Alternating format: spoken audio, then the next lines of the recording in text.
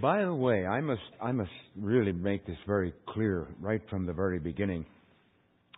Um, I was deeply concerned last week when uh, Chuck made the announcement that it sometimes took four years to find a pastor.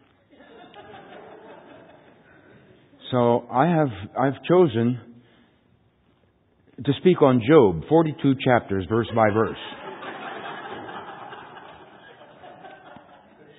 That ought to carry us through. But just in case it doesn't make it, there, you may think the only thing I can preach on is books by the, that begin with J. Joshua, John, but remember, there's still Jeremiah, Joel, Jonah, Jude, and James. We'll make it through the four years.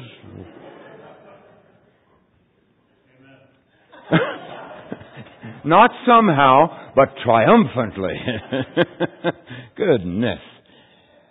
I, I don't, I, I have no idea what might be passing through your mind when you heard me say Job. Some are saying Job. Um, yeah, Job. Not Job, Job. It's spelled J-O-B, but it's Job. And nobody has any idea what the word, what the name really means. Uh, it, it doesn't mean something mystic. In fact, the prologue, which is the first part of the book of Job, introduces to us to all the characters that are going to ha- be there except one. And there's no mystic significance to any of the names. Uh, nobody, nobody knows what, except that they're there because they're historic characters. That's what, a, a, a main fact when we look at the book. Job is not legend. It may now have become legendary, but Job wasn't a legend. He was a man. That's what the book said. You read it. There was a man in Uz. Uz. you have any idea where Uz is? Uz is? Good night. Nobody knows that either. They don't know that. It's not a, it's not a place we can easily identify uh, in latitude and longitude there, uh, but it's a place. Uh, you know, if some fake, if some, if some uh, would-be writer had tried to invent this book, he would have chosen some place that had some oomph and, and some special meaning. He would, um, he, he would have selected something that was that was that had a, had a place in geography and a place that you would easily recognize in history, so he could hang the tale on those points. No, but there was a man. Now the book is old. Uh, the, the book, the book is the man, the man Job, older. He probably came from the patriarchal times. There was a man who lived in the times of of, of Abraham and, and, and those men. But he didn't live in Palestine, the Holy Land. He lived probably mm, north and east, or maybe, maybe, some people say maybe south around the Dead Sea, but he did not live in the Holy Land. He did live in a place where he could farm. Kansans would have loved it. He had all kinds of farm animals. I'm not going to talk about that today. But he was a man. And that's the principal thing. Some people say, well, now I know all about Job. Uh, it deals with um, the problem of suffering. Uh, why do the righteous suffer? Well, if it does, nobody answers the question. You go through an epilogue, two chapters. You go through all those chapters of poetry, and you meet God in the last chapter, and still nobody says, this is why. Uh, we'll talk about that a little bit more a little later, but that it more probably talks about and comes to grips with how does a godly man suffer? And it will come to grips with that. The prologue is in prose. The epilogue is in prose. So there are two chapters written like a narrative at the beginning, and there is a chapter at the end, virtually the entire chapter, written in, in prose. In between, there's a poetical section. And that's why the book, Job, belongs in the poetical books of the Old Testament. And, and some people have described this, this, uh, this book in, in, in, in terms like this. It's lyric. Well, lyric comes from the lyre, meaning it's musical and, and it flows like, and there is a kind of lyric note. But that's not a really good final description. And they say, well, it's a dramatic book. Uh, if by dramatic you mean it has some pizzazz, yeah. But if you mean dialogue in the development of a dramatic port- uh, portrayal on a stage, doesn't have much of that. It's not conversational dialogue in any event. Um, others say that, that the book has has a uh, um, epic flavor to it. Now, an epic is something that traces the, the story of a hero. Well, you, there is a hero here. That's true. But it, an epic usually has something a little more military about it or militant about it. And epics come like Dante's Inferno and uh, um, the Iliad and the Odyssey and, and Paradise Lost and things of that nature. Not so much epic. You know what this is? This is a message from God. And it's in His arrangement. And it's couched in very Old Testament times. This is true. But it's a book for every age. The only problem is that it has been described as classic. Mark Twain says, said, he's not saying it anymore. He said, a classic is something everybody expects you to read and nobody reads. Hmm, that's probably true. Classics are the books on the shelf that you have to take out and go, you know, because they've gathered dust. But uh, Uh, that, it's unfortunate that it gets that. Because Job, because it's called classic, doesn't have many enthusiastic readers. I hope we convert some in this process here. Now, at the risk of offending everybody in the congregation, I'm going to put something up here that will provide the outline for the message this morning.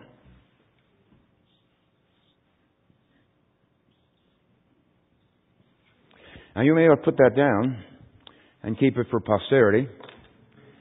Um, um, I did not major in hieroglyphics. Um, I, I, uh, I, didn't major in art, I'll tell you that. Uh, but that's it. Now don't go home yet. I'm going to fill it in. But, but that's, that's the message. You read it. It's the first verse in Job. Uh, you know I'm reading from King James, but it's very similar to what you have. There was a man in the land of Uz. And I've already commented on the fact this is not going to be dealing with a phantom. It's not going to be dealing with, a, with an imagination. This is not sanctified imagination. This is cold history. Do I know when it happened? No. But there's evidence through the book, as we'll see as we go along, that it was patriarchal. But there was a man. The book, the Bible, is about God and man. And mostly God. But it's on God's dealing with man. So it's appropriate that he comes to us with this. There was a man in the land of Uz, unknown place. Not sure where it is. But there was a specific man whose name was Job from a specific place. So we're not dealing with just some once upon a time there was no. This is this is cold cold fact. There was a man. And there follows something in this verse that you should never let go of in the reading of the book of Job in any part. Never let go of verse 1. Verse 1 is God's introduction to the character of Job. And in this prologue, he's preparing us with a point of view to look down the road and see every other thing that happens with this in mind. This is basic. You can't understand the poetry without understanding the prologue. But you must also bear in mind this. The characters in the prologue didn't know what you know when you read the prologue. They were living this one step at a time. You and I have the advantage of reading the author, the Holy Spirit, through whoever that human author was, uh, uh, uh, about this man. And here it is. The first description of this man is in the version that you read this morning, blameless, perfect in the older version. This man from Uz was perfect. The word perfect in Hebrew is that. Round, complete, whole, unbent, untwisted. Um, not sinless doesn't mean that. But it means having reached what he was supposed to have reached. We use this in, John, First John. We talked about perfect and being perfected, reaching the goal. This, this man was complete, whole, not bent out of shape. Actually, these first two descriptions of this man are a description of a man among men. A man living in his ambience. A man living in his world. A man living with the people of his world. A man living with the things of his world. A man living in, in, in, in, in the middle of the, of the ambience. A man with men, the first two. And how was this man among men? Balanced balanced, complete, whole. And the word blameless is a good word to use for this. If he had a fish on the back bumper, he stopped at stop signs. Do you?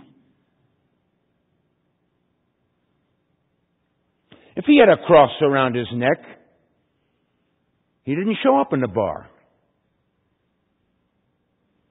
Now, what am I saying? I'm saying here is a man who lived among men and they couldn't point their finger at him and say, yeah, but you're a. Let me read you something from, from the New Testament. Philippians chapter 2 so that you may prove yourselves to be blameless. Actually, 12 through 15 would be a good thing to read, but just 15. And innocent, children of God above reproach, in the midst of a crooked and perverse generation. That's what God wants us to be. To live a blameless life. So people can't say, yeah, but you. Consistent. Maybe you ought to add that word to that. But Job was that. Complete, whole. You know what? I want to remember that when the friends come at him and say, You sin, and you continually sin, and God punishes you because of that. You need to keep this in mind. Man among men, without blame. An overseer in the church, bishop, elder, presbyter, must be above reproach and have a good reputation with those outside the church. 1 Timothy chapter 3. It's required. Okay, look at the second one. Well, I better tell you, I, want to remind you of something. Brendy asked me to do this. Uh, last, no, in September of 07, I preached here in, on Colossians chapter 1, and I don't expect you to remember anything but the illustration. Uh, and I talked about a Ford I had, on which car I put some new tires, which I bought at a bargain price, you may recall. And those bargain tires made that car come down the road like this because they were blems. And I didn't know what a blem was. First of all, the guy told me that they had a cosmetic problem. And cosmetology for tires was something new for me. I didn't really understand. I know. But this tire, this, these tires were egg-shaped tires. I mean, it, so they're out. So the car responded in that egg-shaped manner as it came down the road. They weren't round. They weren't perfect. They weren't whole. They weren't complete. They weren't what tires are supposed to be. Well, what, what this word tam is saying about this man, he was what he was supposed to be. A man among men, upright like that. Well, that's our next word. Perfect. Upright. I think you have the word straight, do you not? Do you have upright? Upright. Straight. He was honest. He lived according to a norm and the norm showed. It was evident. You're different. You're not bent and you're not, you're not crooked. You're straight. You live according to a norm. And so what you have here is, is a man that, that is very straight. He does live, he did live according to a norm. Now, listen to this from Colossians 4. Conduct yourselves. And by the way, that word in the Greek is walk. Conduct yourselves with wisdom toward outsiders, making the most of the opportunity. Be careful in Ephesians that you walk not as unwise, but as wise. And I like the King James on that. It says, See that you walk circumspectly. I've referred to that before. And the fact that when we lived in Latin America, the walls, the people that put up to keep others out, on the top had broken glass. They would break bottles and set them on the top of the set them in the in the concrete on the top of the wall, and it did deter people from climbing the wall. But every once in a while, you would see a cat walking on the top of that wall, but walking very carefully, very circumspectly, because the cat knew the glass was damaging, and he would walk up. Walk circumspectly. That's what the New Testament tells us to be as believers. Okay, this man did that. He was all that he should be, and he walked straight, honest, always consistent. Remember it as we come to the discussion of the friends. Walk circumspectly.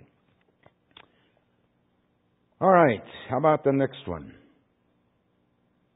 One that feared God. Not terror. And he doesn't, use, he doesn't use that word there, and he doesn't use that word terror when he talks about the fear of the Lord in the New Testament. It's a word that means worshipful submission. Um, it, it, you know, uh, I, I, don't use the word reverence. We can. The scriptures use it uh, in, in, some of the versions, and I like. But reverence to so many people means nothing more than being quiet in church when the prelude starts. You know, I mean, that's that's how they feel. That's reverence. They're not quiet inside. They're thinking of a bunch of different things, and their mind's going. But no, so reverence has lost something in that sense. But this is this is worshipful submission. I think of the Proverbs. Full of this kind of thing. The fear of the Lord is the beginning of knowledge, beginning of wisdom and knowledge. There are two different references in the first chapter and in the next chapter. The fear of the Lord, this worshipful submission, is where wisdom begins. And, and, and this worshipful submission brings us a perspective that works like eyeglasses and puts things into focus. Our recognition. These two qualities, this one we're talking about now and the next one, are a man before his God. Now that means that means this has to be converted. This angle, this aspect of geometry, and this is the geometry of Job. But this angle has to be converted a little bit. So if we're going to go it that way, we this is this is the one that fears God. So I'll do this.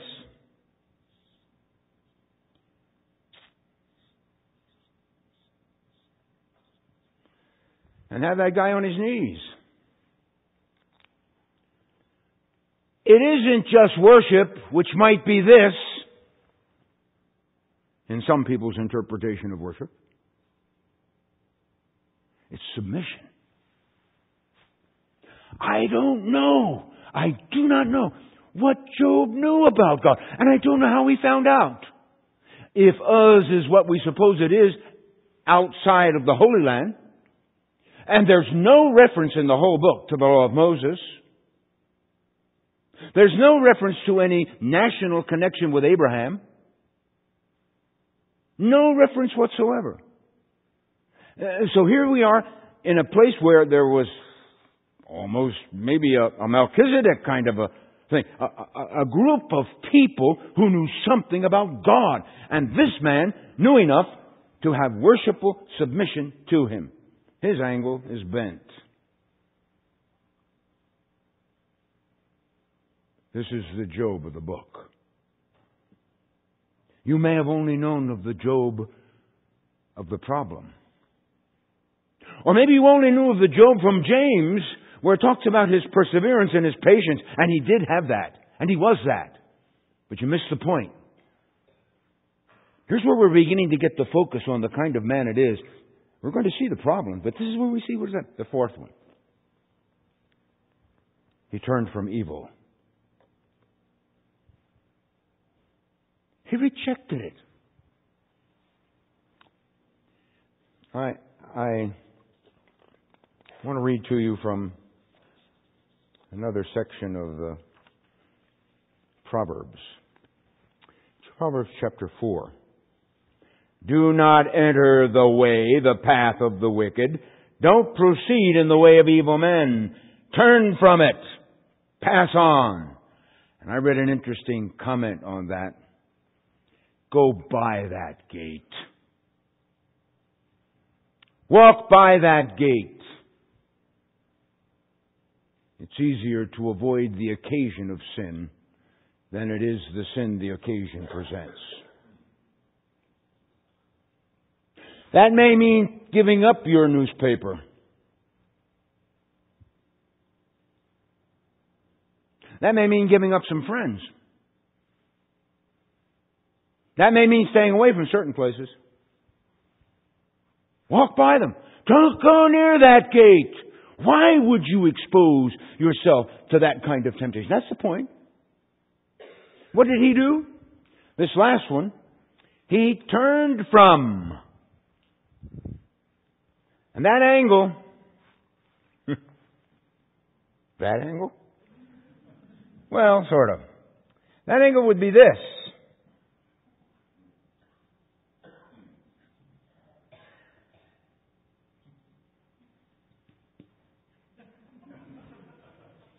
He's running.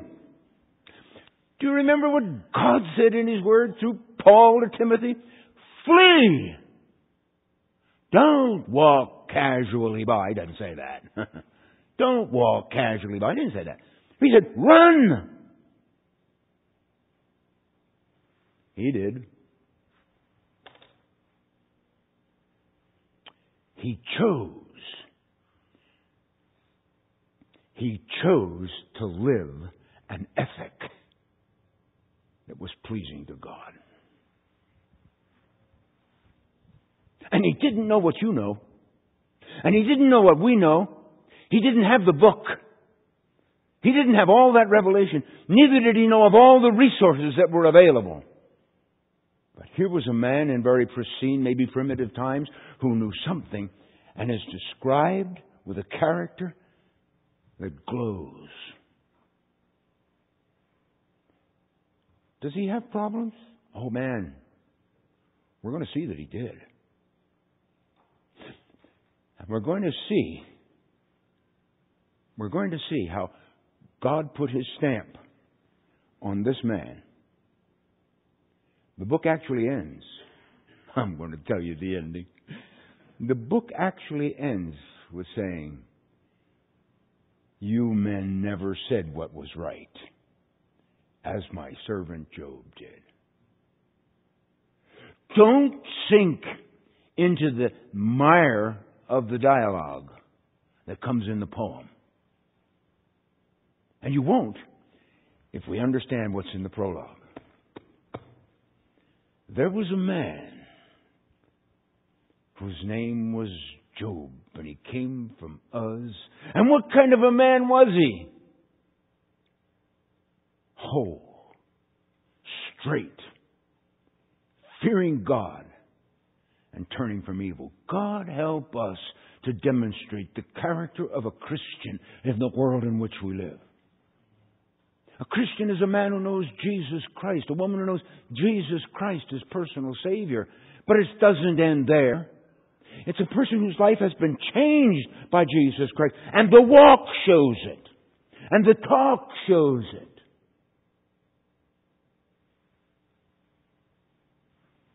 Job was that kind of person in an economy way back there.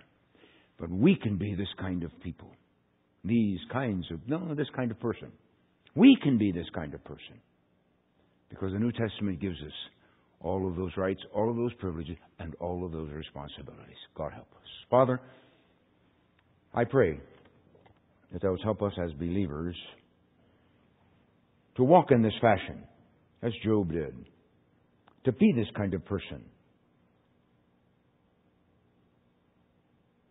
And Father, help those who do not know the Lord Jesus as their personal Savior to come to realize what tremendous resources there are in Jesus Christ. Life eternal and forgiveness. Father, we're grateful. In Jesus' name, amen.